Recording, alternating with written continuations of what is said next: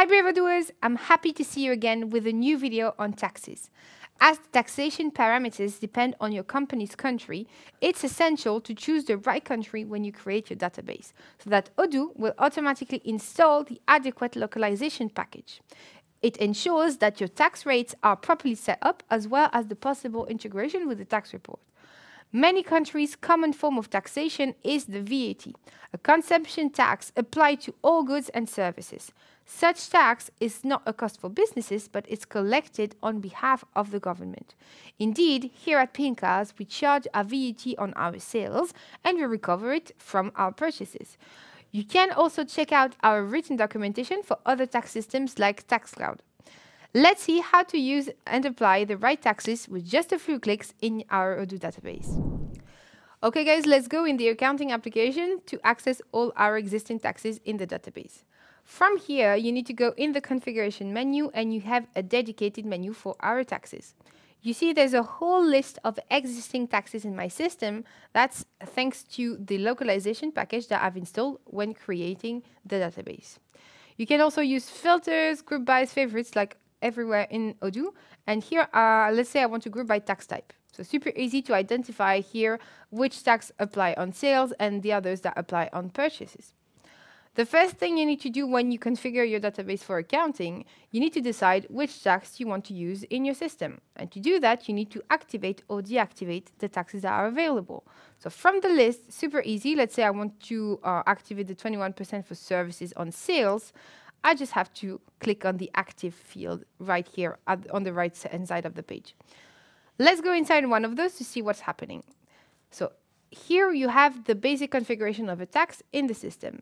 You have two different blocks here, one for the distribution for invoices and the second for the credit notes. So it gives us the possibility to automate the journal entry that is going to be generated in your accounting when you register an invoice.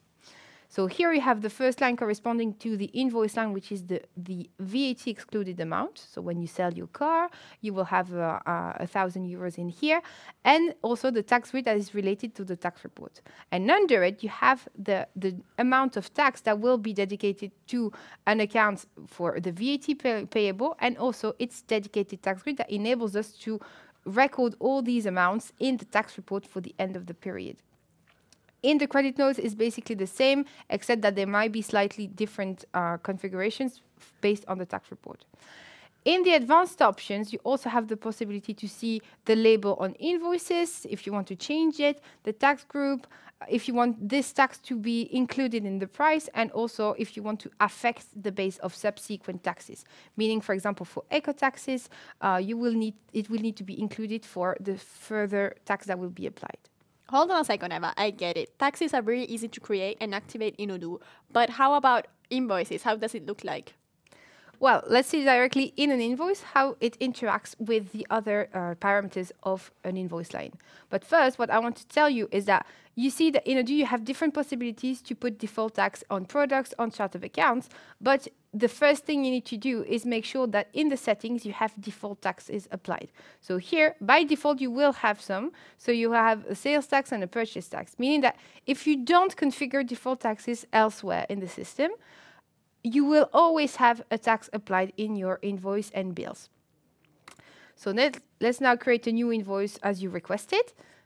So here, if I add an invoice line, directly you see that I have a tax applied for based on my settings.